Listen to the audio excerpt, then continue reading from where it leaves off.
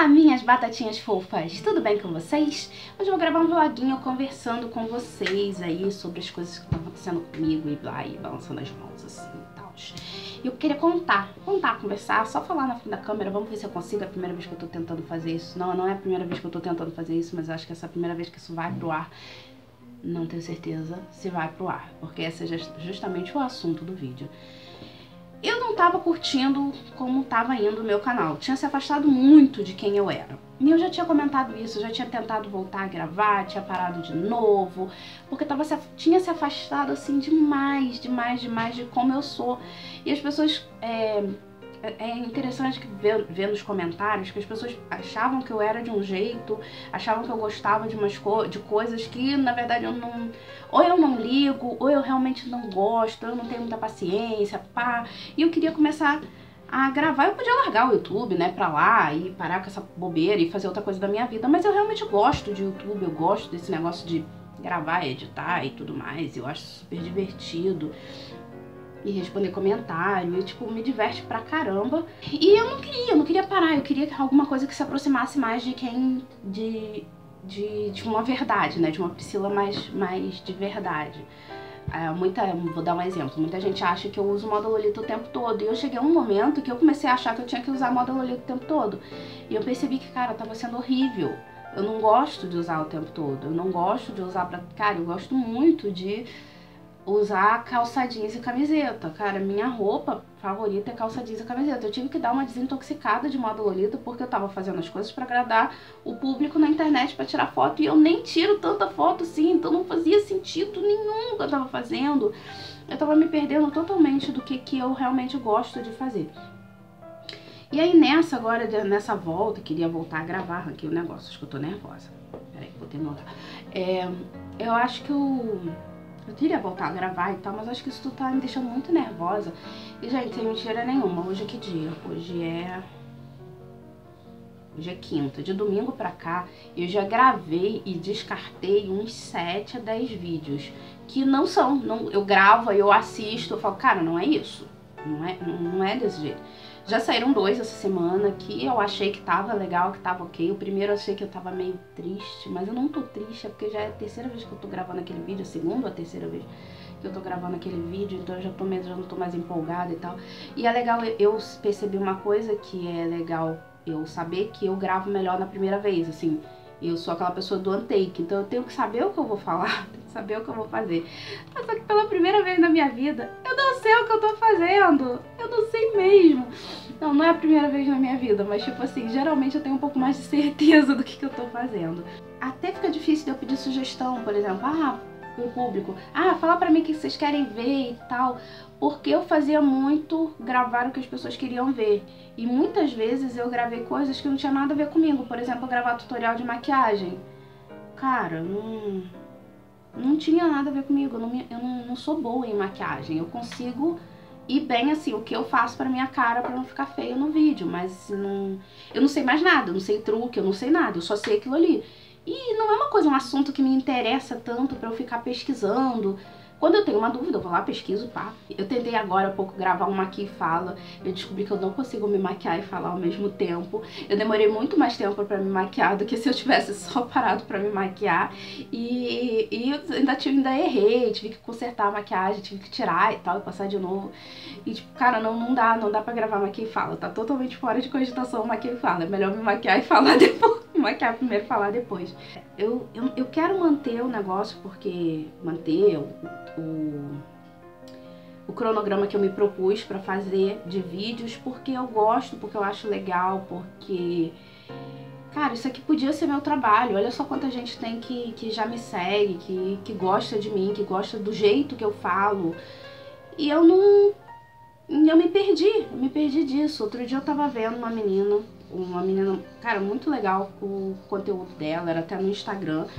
E a menina tinha menos, menos seguidores que eu, não tinha YouTube. E ela falava com uma convicção que ela era influencer, que não sei o que. E ela era mesmo, porque, tipo assim, tinha parceria com loja, tinha...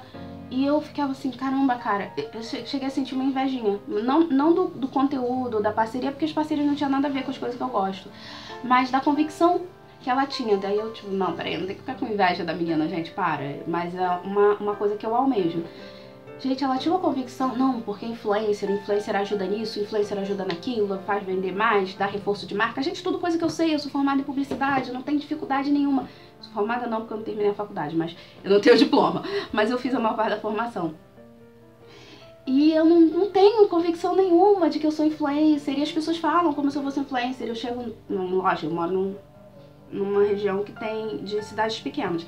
Eu chego nas lojas e eu converso pra caramba mesmo, gente. Eu, eu converso outro dia, eu fiquei duas horas na loja só conversando com a, com a gerente da loja. E eu geralmente eu converso, eu converso com os vendedores, mas eu converso com os donos da loja. Não sei, tem uma coisa em mim ali de fazer amizade com as pessoas que é muito fácil, né, pra mim fazer. E a menina falando, nossa, mas você tem que se dedicar a isso, que não sei o que. É...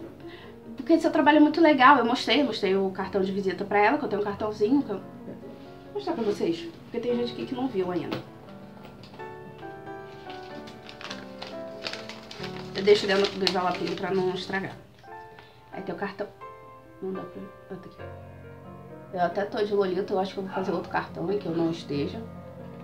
E vou dar esse aqui pro pessoal da Cenololito, sei lá. O cartão foi feito uma gráfica daqui de perto. A moça da gráfica também adorou o meu trabalho. É, e assim, nossa, mas você tem que fazer e não sei o que, se dedica porque é legal, agora tá todo mundo preso dentro de casa. Eu, eu já trabalhava de casa, mas eu perdi meus, os serviços que eu fazia, então agora eu não tô nem trabalhando. Se eu for trabalhar só com o canal, realmente eu vou me dedicar só ao canal, porque é, eu não tô trabalhando, eu sou redatora publicitária. Quer dizer que eu escrevo pros... Pois é, eu não tenho a formação, mas eu trabalho com isso. Eu escrevo para site, blog, rede social de empresa. E eu não sou ruim nisso, não. Assim, eu sou relativamente boa nisso. Tô falando não, tipo, ai meu Deus, falsa modéstia. Não, tipo, as pessoas para quem eu trabalhava tinham um resultado, gostavam do que eu fazia. E eu, ah, eu não tô trabalhando, porque assim, as empresas que eu trabalhava, algumas estão fechadas, enfim. Conversa, eu tava falando que eu converso com as pessoas nas lojas e as pessoas acham legal o que eu faço, acham legal o canal, acham legal, acham, nossa, mas você já tem um público grande. Aparentemente, uma coisa que eu não sabia é que para os padrões daqui de onde eu moro, meu público é realmente muito grande, porque eu sempre fico olhando para os números muito grandes, absurdos de todo mundo e eu tenho um alto engajamento e blá blá blá, eu esqueço essas coisas de influencer. Mas eu não tenho certeza, eu não tenho aquela convicção, sabe? Nossa, eu sou influencer, nossa, eu sou. Talvez eu devesse ter, mas eu não tenho talvez eu não devesse. Talvez você vai chegar aqui e vai falar, não, você está sendo muito convencido, você ainda tem muito, comer muito, muito arroz feijão, muito angu para conseguir chegar a ser uma influencer. Mas aí eu tava falando que era sobre mudar o conteúdo do canal, mas sem mudar o conteúdo do canal. Na verdade, agora, trazer um pouco mais para quem sou eu, me dedicar a mostrar uma, uma estante onde tem realmente as coisas que eu gosto. Tem moda Lolita? Tem, tá aqui embaixo, olha, tem. Tem coisa kawaii? Tem, tem tem unicórnio, tem Hello Kitty, mas também tem dragão, tem o Senhor dos Anéis, o Hobbit, que também tem dragão no Hobbit.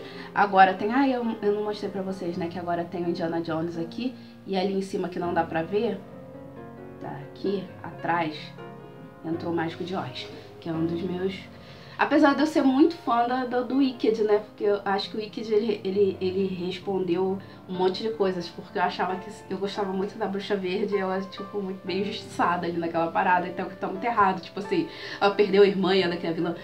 Então, assim, o Wicked é um musical, tá, gente? É, sobre o Mágico de Oz. Só que é um outro olhar. É uma história contada de um, de um outro jeito. Gosto muito daquele filme é, Oz, Cretino e filho da mãe. Esqueci o nome do filme. Oz o Fabuloso, Oz o Mágico. esqueci o nome, que é com o Macabro. Pra mim, aquele garoto é o Duende Macabro. Nunca mais eu vou superar a atuação dele no... no... no Homem-Aranha. Eu, eu, eu era melhor pra nome de, de ator de filme, gente. Mas assim, o Mágico de Oz é uma franquia que eu gosto muito, tanto que quando eu iria pro Nacional, que agora eu nem sei se eu vou, quando voltar as coisas, eu iria vestida de bruxa verde, inspirada na na Bruxa Verde do Wicked. Era a minha intenção, agora eu nem sei, né? Porque na verdade eu ia ter que me pintar de verde, né? Então. Ou não, né? Só usar algumas coisas verdes, mas ali pro lado da Bruxa Verde do. Uh, como é que é o nome do negócio? Once Upon a Time. Mas e, porque ela não é verde, né? Ela só usa os negócios verdes. E a Bruxa Verde do, do próprio filme do Oz lá, que também não é verde, né? Ela não, a bruxa verde é verde, gente. O que eu tô falando? A bruxa verde do Oz é, é verde. que é que nem do Mágico de Oz mesmo, é bem inspirada no Mágico de Oz. No clássico lá de 1939, que ganhou o Oscar de filme colorido na época. E de melhor canção original com Somewhere Over the Rainbow. Mas isso não tem nada a ver com o vídeo, é só mostrar que eu, que eu gosto muito do filme, porque eu sei essa informação completamente aleatória. Eu quero trazer um pouco mais do que eu gosto realmente pra isso aqui, porque senão eu não tenho se eu não trouxer isso para os meus vídeos e para o meu trabalho no Instagram, que tá realmente eu tô tentando fazer alguma coisa legal no Instagram, se eu não trouxer isso pra cá, eu, eu não vou ter saco para ficar fazendo. E tipo assim, eu não sou só moda lolita, na verdade nem é a minha maior parte de mim. Eu sou muito mais nerd, muito mais fã de ficção científica, muito mais fã de ficção e de filme de fantasia, histórias de, de Cavaleiros e Dragões, do que moda lolita. Isso é muito... é, se eu não trouxer isso pro meu trabalho, eu não vou ter paciência para ficar fazendo isso, ainda mais que moda lolita não tem, assim... Se eu ficar falando de ficção científica, por exemplo, se eu fosse falar só de ficção científica, eu teria um público muito maior em português do que se eu falar só sobre moda lolita. E tipo, eu nem sei se vocês estão entendendo o que eu tô falando. Eu nem sei se vocês ligam pro que eu tô falando. Nem sei se interessa o que eu tô falando. Nem sei se eu vou postar esse vídeo, pra falar a verdade. Nossa, eu tô muito confusa, eu não sei nada da minha vida. Eu vou terminar esse vídeo por aqui, porque eu acho que eu não tô sabendo nada. Eu não tô sabendo nem o que eu tô fazendo. E eu vou gravar mais um, ou dois, aqui. E pra eu poder ter o que falar? Não sei. Não sei o que eu tô fazendo, gente. Desculpa. Daqui a alguns meses vocês vão, vão saber se eu sei o que eu tô fazendo. Porque eu vou ter continuado ou vou ter parado. Até o próximo vídeo, pessoal. Beijinho e tchau, tchau!